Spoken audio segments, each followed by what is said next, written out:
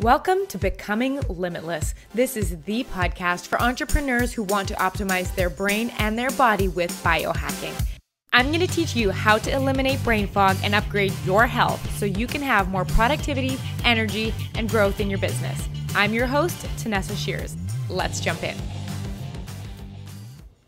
Welcome back to the Becoming Limitless podcast. I hope your day is going really well.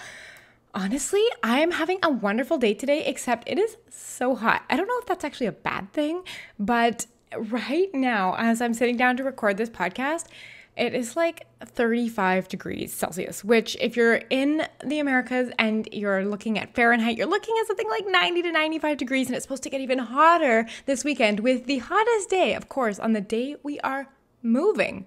So just our luck, we're to be really warm. But the the problem that it's causing for me right now is I am literally so overheated right now trying to record this podcast episode. I can't have the window open because the gardeners are here right now and they are out there doing their leaf blowing thing outside the window. And I tried using the fan and it created so much noise.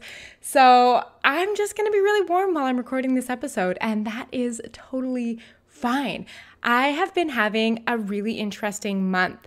Um, I had an experience, I guess, a couple of weeks ago in which I was, I guess, given the opportunity to experience something a little, uh, a little bit spiritual, almost like manifesting. And I got to, you know, learn a little bit about that from a colleague of mine and started seeing all these instances in my life where it's popping up right now. So, I've actually started rereading a book that I read about five years ago and absolutely loved. It's called Breaking the Habit of Being Yourself by Dr. Joe Dispenza. If you have not read that yet, read it. It is so worth your time. It's about um, the science and the logic behind meditation and manifesting. So, I'm kind of taking my spare time right now and diving into all of that because of this really like crazy experience that I had. And I'm going to be sharing a podcast episode on it a bit later, probably after I've settled into the new house. But I want to share that with you guys because I'm just finding it so interesting. I mean, as you know, like I'm very based in science and logic and explain it and how, but I had an experience that wasn't quite explainable. And so now my brain is like, oh my gosh, what else might be possible? Have you ever had that? Are you, have you ever experienced something where you're like, well, that doesn't, that doesn't make any logical sense. Are you into manifesting? Like, t- tell me. I am so excited to be able to talk to you guys about this later on, just in kind of like a story episode. But we're going to get into today's episode and we're going to be talking all about the silent productivity killer. Because I get questions all the time on, like, Tanessa, how are you so productive? Tanessa, how do you get so much done with a baby? I don't understand it. What is going on? It must be your calendar. How do you schedule? Tell me how to hack my my all the things. What apps do you use? Uh, what time do you work out? What is it? And I've talked so much before about productivity having very little to do with the calendars and the apps and all of those things that we think productivity is.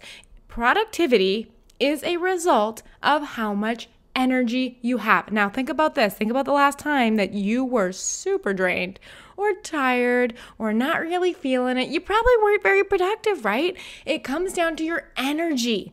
Now, we know that energy is what creates productivity. Well, what creates energy, or more importantly, with relation to this episode, what is killing our energy? Well, it's inflammation.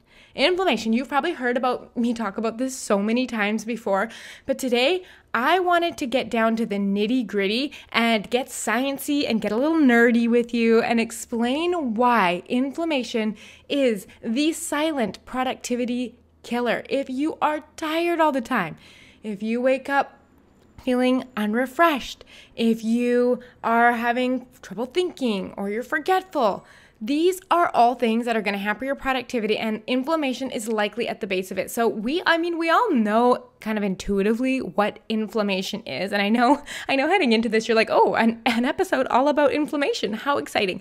I'll make it exciting. Don't worry. It's something that you need to know. And once your brain understands like how inflammation is created and what we are doing to do it, I challenge you to go back to the way you were living, knowing what is happening to your body. So think about that. All right. So we know what inflammation is, right? It's think of a sprained ankle. We've probably almost everyone has sprained their ankle at some point, right? Or like a wrist or something. Anyways, I have sprained both ankles so badly to the point where I couldn't tie up shoes on both sides, separate occasions. The first one I actually did, I was hiking with my husband. We had only been dating about two years, and we were singing, we were out in the literally back country, so nobody could have heard us. We were singing high pitched Disney princess songs. Don't tell him I told you that. Um, but we were singing, and I got so excited that I literally tripped and fell down the side of the mountain, sprained my ankle, and it was so bad that my husband couldn't even carry me. Because if you've ever been carried on someone's back, like your feet flounce around, that's not what you want when you sprain your ankle, right? So I had to walk backwards for over an hour down a mountain with a sprained ankle. Ugh, don't want to do that again. And the, the, the worst part is the other ankle I sprained, I was teaching a boot camp class. And if you've ever been in one of my boot camp classes, well, I have about as much energy as those as I do while I'm doing this podcast. I was going so fast. I had all this energy and I was going up and down on this little step and I bailed off the side, barely was able to walk out of there. So I sprained both ankles pretty badly. And I'm going to tell you what happens. It gets really red. It gets really swollen. It there's pain, a bunch of uh, white blood cells come in and everything to try to heal the injury. There's a lot of fluid accumulated. It maybe gets hot. This is what inflammation is. And we know what that is, right? But we never look beyond it. Like, what actually is it when it's not a sprained ankle? Well, inflammation is actually a total, totally normal response from your body when it's defending you against foreign molecules that shouldn't be there. That's what happens when it's inside of your body, all right? So think about this. Have you ever had a rash? Maybe a rash that's been itchy? That's inflammation. Have you ever had a runny nose? Inflammation. Seasonal allergies? Inflammation. Well, like how else can you know those, those that's when that's when almost like inflammation is in your body. But we can also get inflammation in our brain, and that is what is slowing us down in our businesses. When it gets to our brain, we get foggy thinking. I mean, have you ever had that feeling when your brain just feels like molasses and it feels heavy in the front and you're just like, ugh, I can't think. And you get really forgetful. Like you can't remember like simple words or the email address you're trying to, you know, type an email to, or you get really unfocused and you're distracted every time your phone goes off and every time your email, somebody walks in the door, you just can't stay focused at all. And you have a very short attention span. Like you can only stay on one tab on your browser for so long before you just have to check your email or just have to check my phone or have another tab open or flip back and forth. Or maybe you're doing the Instagram, Facebook, Messenger, Gmail, Instagram, Facebook, Messenger, Gmail, that cycle, you know, when you open your apps one at a time over and over again and then you wonder what's going on, what am I doing with myself? it might even show up as like if you have anxiety or even depression. These are all signs that you may have inflammation in your brain. And it does affect us as entrepreneurs because if we are showing up with any of those, it is affecting our energy. And if our energy is low, we're not getting done everything during our day. And we're not showing up full of energy and vibrance in the way we want to in our business that attracts people to you. People want to work with you or buy from you when they want to be in your energy. If you are feeling heavy in the brain and unfocused and forgetful, that will radiate through your business and it will affect how much you can get done, the energy with which you read out to people, and your relationship. So, yeah, this episode is important. It has to do with your brain and how it works. And being an entrepreneur, you need your brain to be on point. So, you might be saying, well, how do I know if I have inflammation right now? Well, I'm going to give you a whole bunch of cues. Now, I want you, unless you're driving, to keep track on your hands of how many of these you say yes to. Okay, do you get seasonal allergies? Do you have food sensitivities? Like, can you say, oh, yeah, I get bloated or stomach aches after eating this food, or I get a headache or nausea, or I get hungry right after? Are you regularly exposed to toxins? So, are you microwaving your food in plastic containers? Do you use cheap dollar store shampoo? Do you have deodorant with aluminum in it? I mean, all of these things, toxins exposure. Do you get sick frequently or get runny noses or colds every once in a while? Do you have asthma? Do you have unexplained like eczema or rashes or itchy spots and patches that just pop up randomly that, you know, don't seem to have a cause or to be linked to anything? Do you have joint pain or swelling like arthritis? Do you have digestive issues like irritable bowel disease or IBS? Do you have bloating or gas after you eat or even not after you eat? Do you have diabetes or are you overweight? Do you experience stress, either emotional or physical? Do you have more than three glasses of alcohol per week? Do you exercise? If you are sedentary, you get a point for this one. Are you sleeping less than seven hours per night? Or you might even be getting eight hours of sleep, but is your sleep of poor quality? Are you tossing and turning? Do you wake up multiple times a night? Do you feel rested when you wake up? And lastly, do you consume processed food?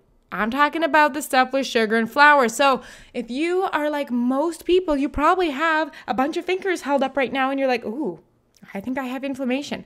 Well, it's likely true because most of us do. Your body is on fire. I want you to think of that as inflammation, as your body being on fire. And the scary thing is, is that inflammation is at the root of literally every modern disease, from cancer to diabetes, to heart attack, to stroke, to autoimmune diseases. But I want you to think about this. If you think of inflammation in your body as your body being on fire, and all of those things I told you about, like rashes and allergies and IBS and foggy thinking and being unfocused and all of that, if you think of that as like symptoms or the smoke, Instead of saying, hey, why is there so much fire? What we do is we want to look around for a pill or a quick fix to treat the smoke. If that makes sense. Inflammation is the fire, the symptoms are the smoke, and we go around just wanting to treat the smoke. Oh my gosh, why am I so tired all the time? Maybe I'll have a cup of coffee. Oh, what are these skin rashes? Maybe I'll just put a steroid cream. I have a headache? Great, take an Advil. You have allergies? Awesome, antihistamines. High blood sugar? There's a drug for that. You can take artificial insulin. What about, oh, I have a stomach ache? Great, I've got an acid blocker for you. High blood pressure, we have a drug class called statins that'll work for you. Like, we look at all of the smoke and are like, oh, how could we put the smoke out? But I want you to think bigger than that. I want you to think, how can I put the fire out so that we don't need the drugs to fix the symptoms and the smoke, right? Because what's happening in all this inflammation? Well, your body is detecting foreign molecules. And your white blood cells and your cytokines that are part of your immune system, they get called to action. They're like, yeah, we got to protect the body. This is not supposed to be here. Normally, this is a good thing. If your body is in balance, we want a healthy immune system response to keep us sick and prevent us from, you know, being affected by every bacteria or every problem that happens to us. But the problem is, when that normal balance is disrupted, your immune system is like red alert. Oh my gosh, this is too much, and inflammation begins to spread from the place it occurred to other areas in the body. It can even start attacking part of your body that isn't problematic. And that's why we see all these autoimmune diseases where your body is literally attacking itself. And these irritants that are causing this response can be from your lifestyle. The beautiful thing is that these are changeable. This is wonderful news. You can put the fire out most of the time with lifestyle changes. You don't have to run around fanning the smoke all the time trying to deal with the smoke. Just deal with the fire. So, a really good example are like food allergens or inflammatory foods. And this is the this is the one we're going to zero in on today. I'm going to zero in on uh, the digestive tract specifically and tell you how inflammation in your digestive tract could be leading to your brain fog. So think about this.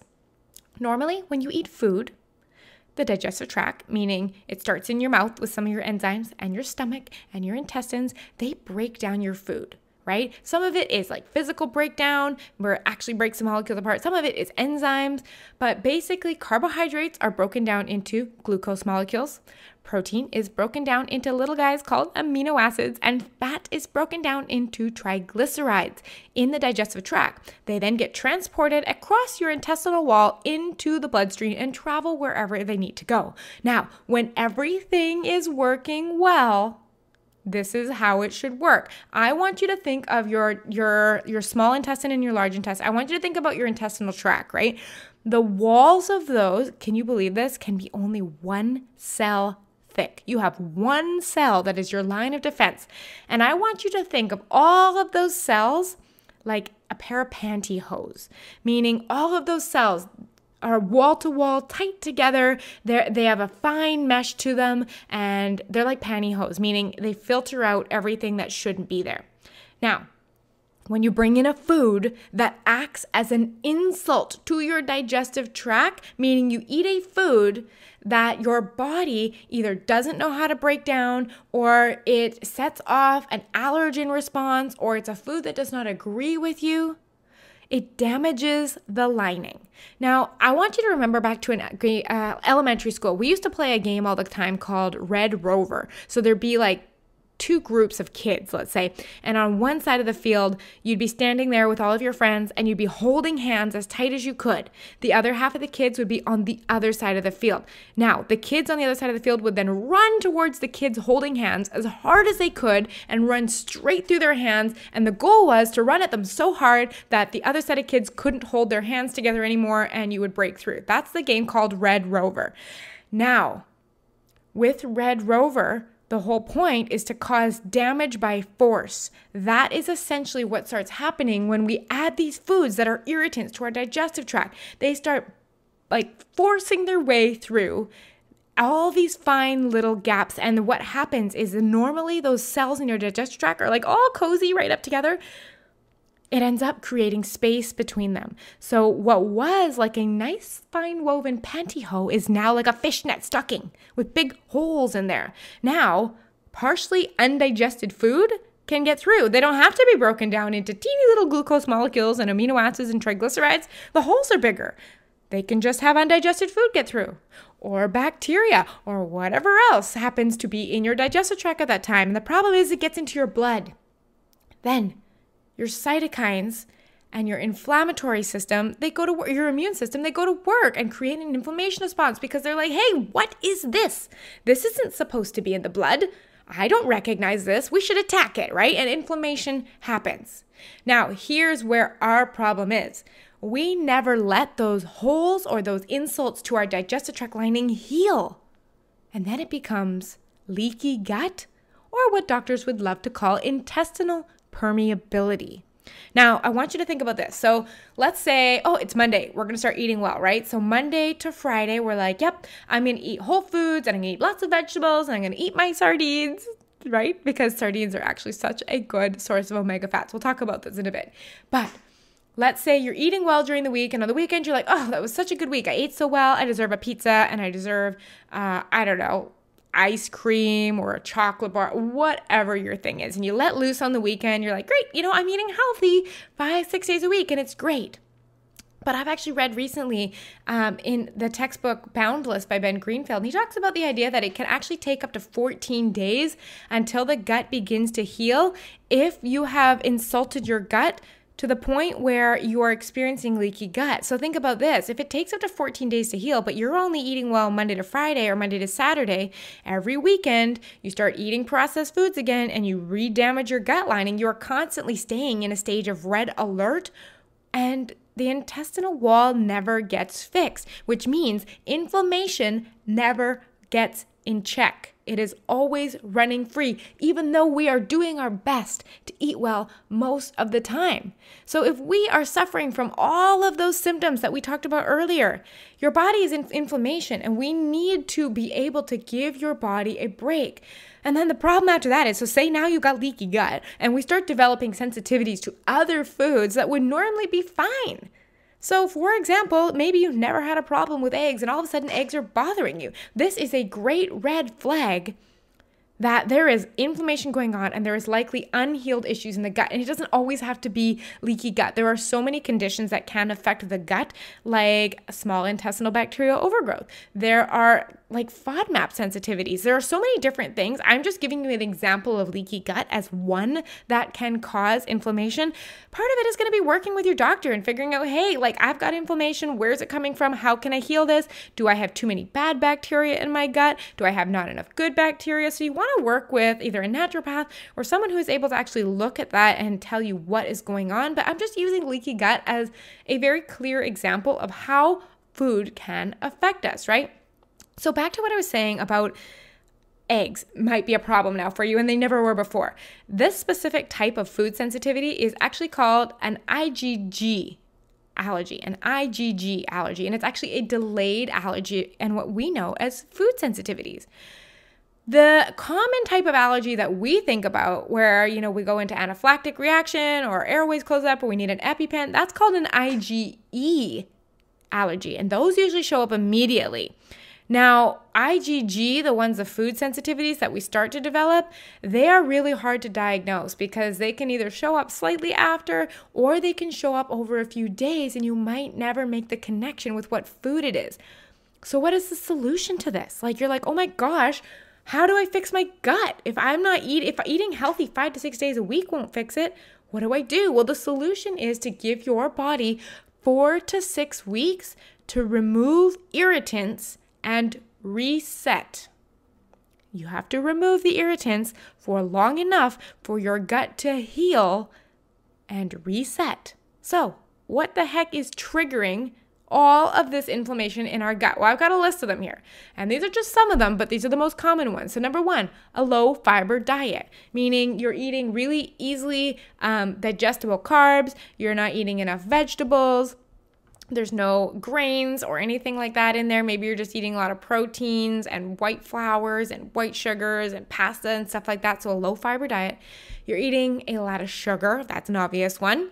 Um, certain medications, like uh, the class of drug called PPIs or proton pump inhibitors, they actually block acid and can act as a trigger because if the acid in your stomach is not, the level is not high enough, it doesn't kill the bacteria, and the bacteria can get through into your digestive tract, among other reasons, right?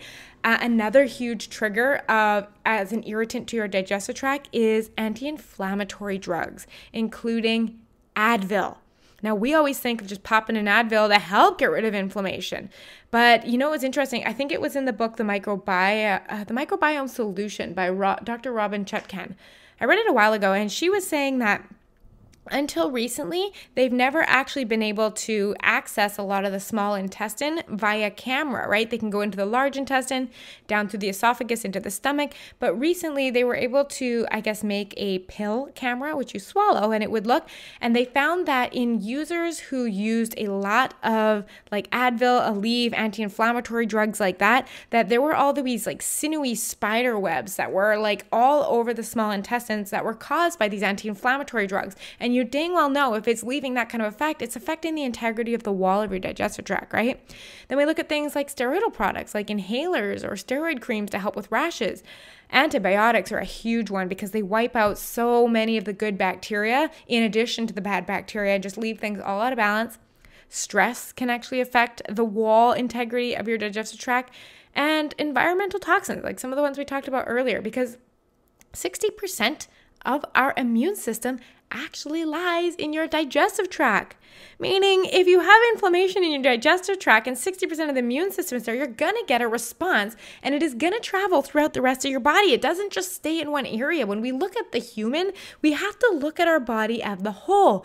When we think brain fog, we need to be looking at everything going on in our body, not just our heads, not just our stress, not just our sleep, not just our digestive tract. That's why it's an integrative, like holistic response. And if you're just trying to treat it with one thing, you're gonna be missing the boat.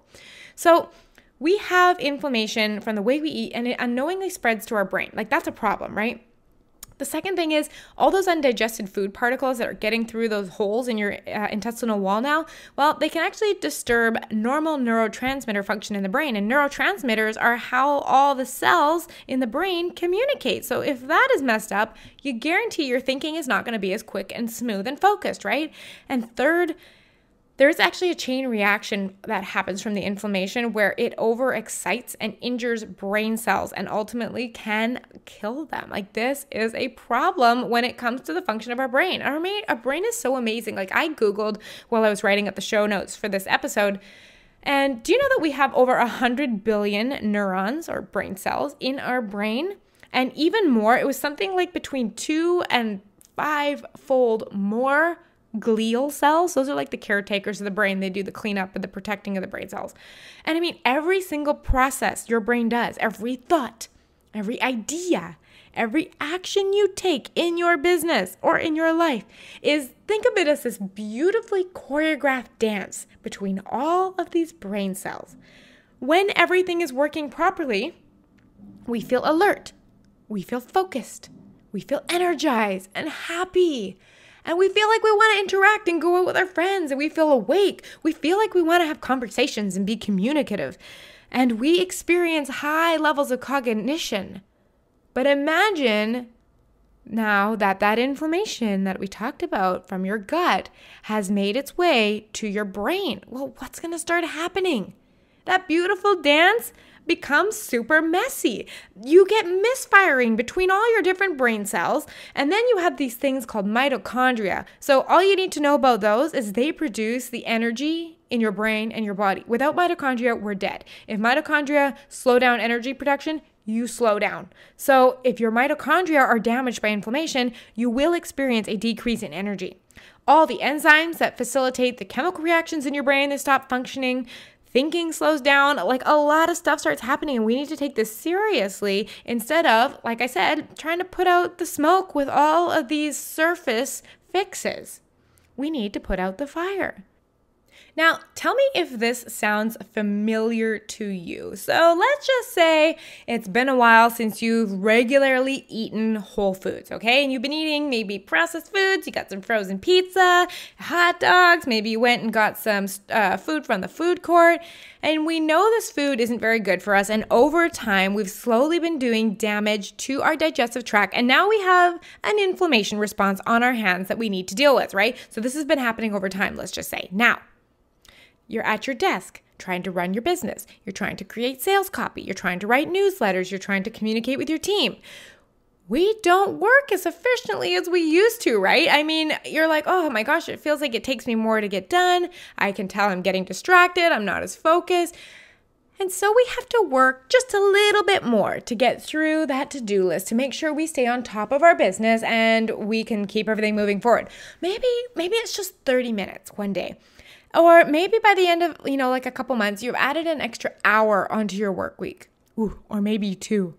And maybe maybe it just gets so busy that you start to skip lunch. Or maybe you're just like, no, I'll just eat while I'm working. That way I can get more done. Instead of having a lunch break, I'll just eat while I'm working, right? And then we stop getting through everything. And our work is less creative. And we hit the end of the day, and the little juice that our brain has had left and is running on is sapped. And we are so drained because we worked through our lunch, we added on to our day, our days have gotten longer, and we're still not getting enough done over time. We're not getting productive, we're frustrated with ourselves, we're in this space of like overwhelm where there's so much to do. Oh, and we get so drained. And then you get off, and we maybe we need to make dinner and you got to spend your time with your family, even though your brain is probably still thinking about work. And then you get your kids to bed, or maybe you don't have kids and you finish your, your errands, or your to dos, or your tidying for the night. Oh, and you just want to relax. So, you know what we do? We're going to stay up later tonight and I'm going to watch Netflix. And you're going to, right now, me and my husband are watching Loki. Maybe you're staying up watching Loki. I don't know. Maybe you're watching uh, Modern Family or whatever it is, right? Or, or maybe you're watching something that's making you really think or is alarming. Um, so your brain is overstimulated and you've been staring into this TV. So now all the blue lights go in your eyes and you go to bed later because you needed that time to unwind and relax. You worked all day, you had responsibilities all night. Just let me watch some shows. And you probably grabbed ice cream or maybe chips or cookies to help you feel better for not getting everything done. And this is a process that happens over time and then it gets worse. You go to sleep, but you don't sleep long enough and you don't sleep deep enough. And all that brain stimulation from watching TV right until you went to bed prevents you from falling asleep and keeps you up thinking. Or perhaps you do fall asleep fast because you're so exhausted, but you don't get that deep sleep. And because you were staring into your screen, melatonin production was affected by the blue light. This disrupts your REM sleep. So now you have poor quality sleep. You're probably waking up the next day feeling pretty lousy. And because you were eating before bed, your body spends the first half of the night digesting this food and your heart rate stays elevated and you wake up feeling unrefreshed because your heart rate didn't drop until later in the night because you were so busy digesting. So you wake up feeling exhausted. What do you do? You grab coffee, maybe skip breakfast, jump right into your work before you even think. This increase in cortisol increases brain inflammation.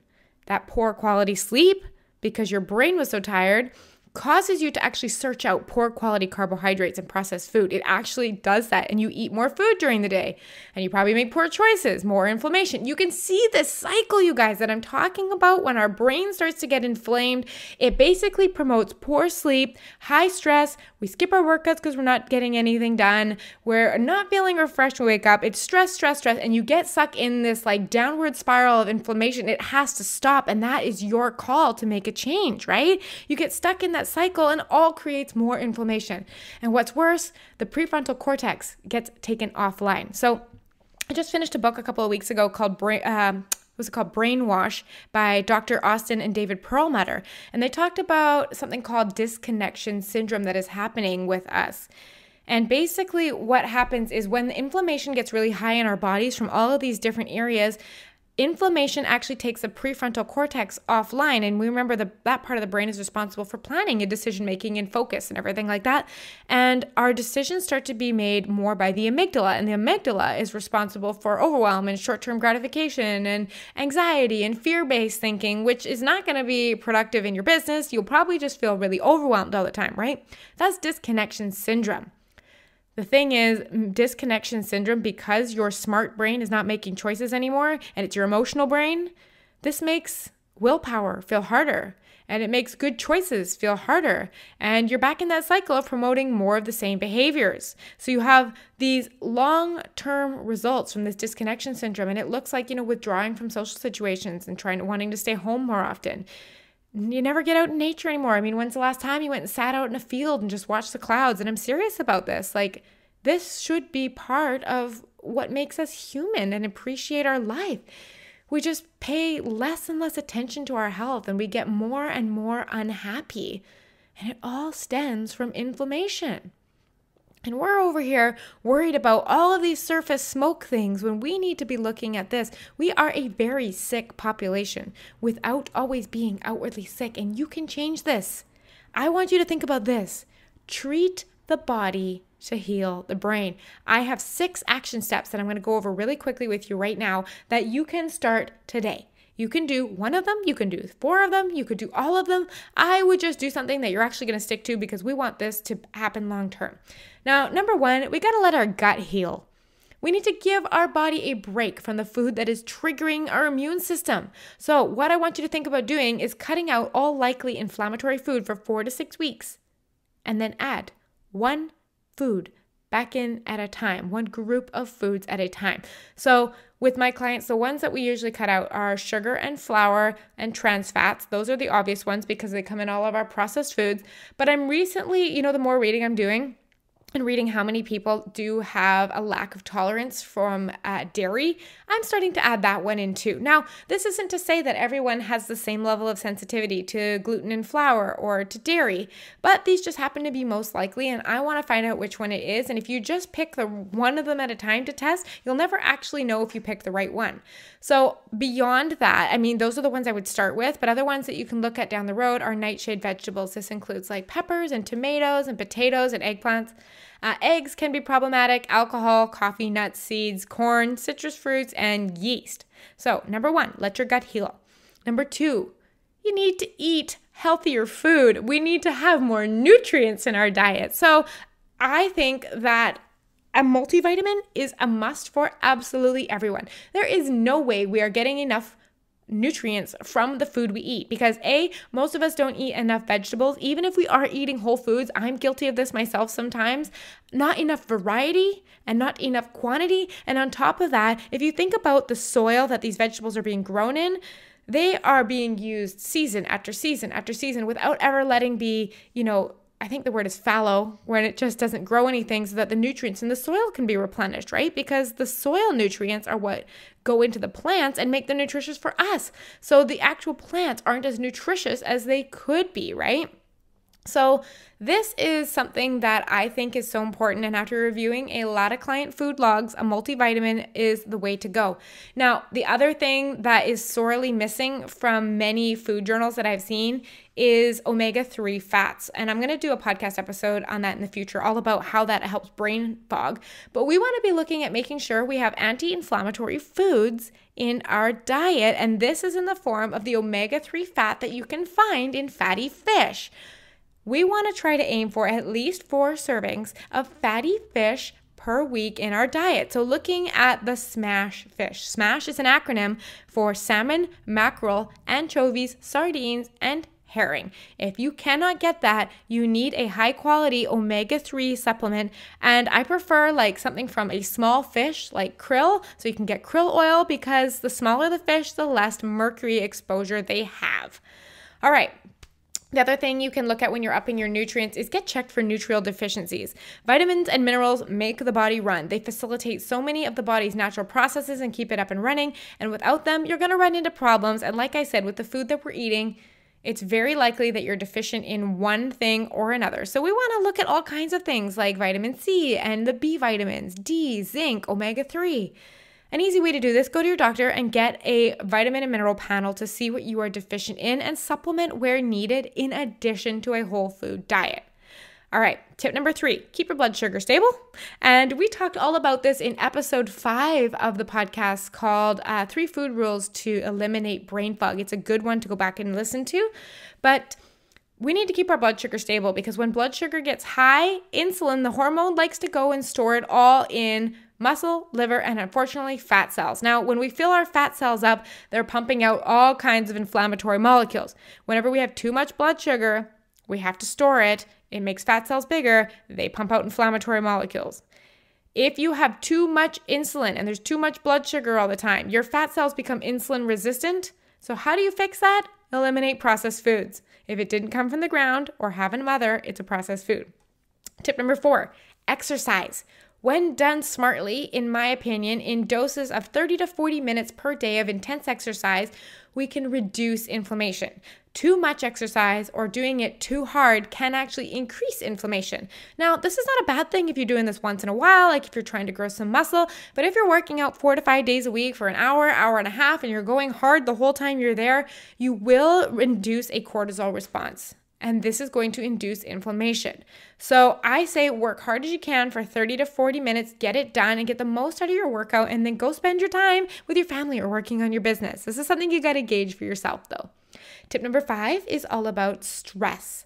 I did episode 20 on the cognitive load detox, which is one of my favorite strategies for really uh, allowing your brain to unwind and for you to learn how to relax. You can also meditate, set work boundaries, you can write in a journal. There needs to be an actual practice of de stressing in your program, in your life, in your day, so that you can, you know, have lower inflammation and make sure that you are are healthy and that your brain is working well. Lastly, and you know I love talking about sleep, poor sleep. This is something you can change as well. I've done a bajillion podcast episodes on sleep. Primarily episodes two, three, four are the big ones where I talk about it. But the biggest tip, if you want to start right now, just something simple, set a bedtime and follow it. That is such a simple tip. It makes sure that you are getting enough sleep. The biggest reason I see that my clients don't hit their bedtimes is because they were up watching a show. Blue light, delayed melatonin production. All of that all of that information coming into your brain keeps your brain awake and keeps it from slipping into sleep. Set a bedtime and follow it. Don't let yourself be staying up late every single night for TV. If it happens once in a while, you're fine. But if this is something where it's happening days on end, weeks on end, it's something you might want to check. So, in summary, we need to start treating that fire. That's what I talk about. And I talk about using real food and lifestyle changes to optimize your brain and your body so you can have more productivity, energy, and growth in your business. It's why I say it in the intro to this podcast. And that's why I really wanted to drive this home and do an episode on inflammation because you might just hear, oh, yeah, inflammation in my body Fine. I need you to understand about what an effect it is actually having on your body so that you can proactively make a change about that. If you want me on your team, if you want me guiding you on how to make those changes so that you can minimize inflammation quickly and get back to your business and get back to having high energy and feeling alert and focused and being super productive in your business, I'm inviting you to book a one on one consultation call with me. We can talk all about this. We can see where your energy is leaking, where your inflammation is coming from, talk about the exact step by step solution that me and you would do together over the next six months to reduce your inflammation and help you feel so much better. And then at the end, if we're a good fit, I'm going to invite you to come work with me and experience all of the amazing benefits that my other clients have felt by working together and see how it really affects the presence you feel in your life and your ability to show up the way you want. The link is in the description, or you can head to tanessashears.com forward slash apply to fill out the really quick application, and I'll get back to you and we'll book a time in for a call just to sit down casually, talk about you, talk about your business, talk about your health, and how we can make it all better. I hope you have a beautiful week, and I'll talk to you next time. Okay, take care. Bye. Ready to begin each day feeling energized and focused? I'd love to work with you one on one. In my Becoming Limitless program, you're going to learn how to optimize your brain and body with science and biohacking so you can be highly productive and grow your business faster. Join me over at tanessashears.com slash work with me. I'll see you there.